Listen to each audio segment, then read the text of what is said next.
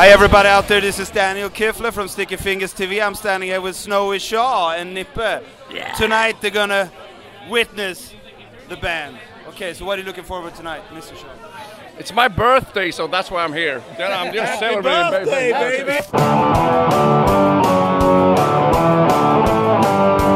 okay, yeah, so that's what I mean. No, just a fun night out and see uh, the Alice Cooper band, basically. So, yeah, Have you- good jam, I think. Yeah. To catch a glimpse of Alice himself. Yes, I heard about that. So, um, if we can include Alice Cooper in the 70s, 80s, and 90s area, which one would you prefer? yeah, yeah, okay, yeah. Goes without question. I mean, I stopped caring after Goes to Hell, basically. Yeah, yeah. yeah. Uh, 70s. That's my. That's my. My. Sorry, that's not so so uh, PC to say that, but I mean, basically, I stopped. I mean, I love the 70s stuff. That's what I like. Actually, I like I like the uh, one of the, the later the later albums. I think in, in the 70s era, they from the inside. I think it's a good Yeah, album. from the inside, it's a wonderful Yeah. album. But also, I mean, if we take a sort of a shortcut over to the 90s, I, th- I think when it sort of came back and did, did the garage thing again, Yeah, I love that, that that's yeah. good. But I mean, the 80s, I'm not such a big fan of the, the hair metal. is not your No, no, no. Frankenstein. yeah, yeah. That's what I got into. But I discovered the say 70s. Yeah. So let me ask you, what's what's what's your favorite song with Alice Cooper? I should say something from Welcome to My Nightmare, probably. Uh, or I Love the Dead. Can you imagine? 1973, that was a huge hit song on the charts, singing about necrophilia. that couldn't happen today, right? It couldn't. Uh, and you, Nippe? Uh, I would say um, I was like uh, Hello Hooray. Hello, Ray. Great. Yeah. Oh my God, what an opener. Yeah, yeah, yeah. What an opener. Yeah, and it's a great song. I saw I saw them doing that song a couple of years ago, and uh, I never thought I would hear that, that one live ever. So that was that was kind of crazy thing to see, and that was really good. Following up with Elected right after yeah, that, I mean, such a fantastic Yeah, song. not local, that's not- Have you heard the song Reflected? No. And all, I mean, all those on Pretties for You and all those songs. Yeah, but I mean, it's like a they reworked the whole thing. So, so yeah, yeah, yeah. So actually, it's uh, the skeleton from that song came from a couple of albums previously, or prior to that. Yeah, yeah, yeah. yeah. So what are you looking forward to the new record Paranormal? I Yeah. know he's, he's got a. No, I do that because I, I heard a couple of songs. I think. yeah. and it sounds yeah, it sounds real good, and uh, it seems like uh, uh, he was doing it with Bob Ezrin again, and, and finally it sounds it sounds That's, like that's the fucking keyword. Yeah, Bob yeah, Ezrin. That's yeah. the shit. And, and, and, and they do it the right way, I think. I mean, they did it. They did the uh, the last uh, Welcome to My Nightmare 2 a couple of years ago, but that was kind of mishmash, and I didn't really like that. But I listened to it a little bit, but yeah, yeah, I had a little hard time getting into it, really. You know.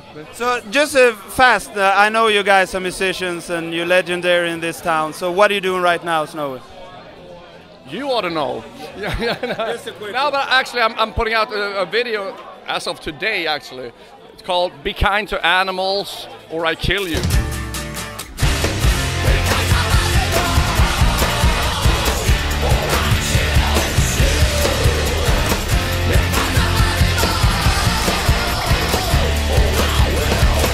Tied to a campaign uh, slash video new song and all that.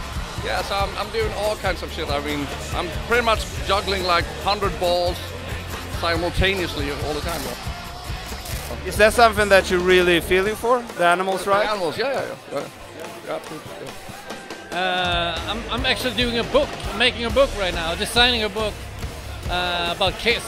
Designing a book. yeah, so it's uh, it's actually written by uh, uh, yeah Carl yeah Carl Linnaeus and, and uh, it's based on stories and pictures from from uh, from uh, Johan Kihlberg and Mats Wassfjord used to, to, to run the Swedish Kiss army for a lot, a lot of years. So Isn't like that amazing? I mean, they can just put out so many Kiss books because what we all got in common, I figured that much that all the people I know all over the world, we have one thing in common: Kiss.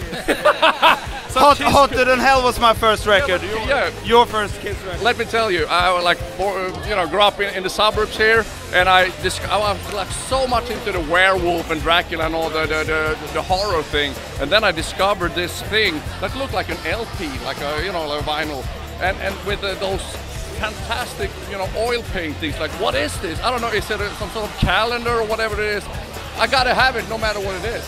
And it was like this fantastic album, Kiss Destroyer, produced by Bob Ezrin. Yeah, so I was like, wow, I was completely blown away. And it's like you can listen to it, you know, and it was like a movie was played in your head. It was like the soundtrack with all the cars crashing and all that. So it was fantastic. And I, I gotta fucking tell you, like 40 years later, this is what I still has as a gold. Okay, it should be like that. When I went to Studio Fredman like in uh, December last year, I was like, okay, we're gonna mix this song.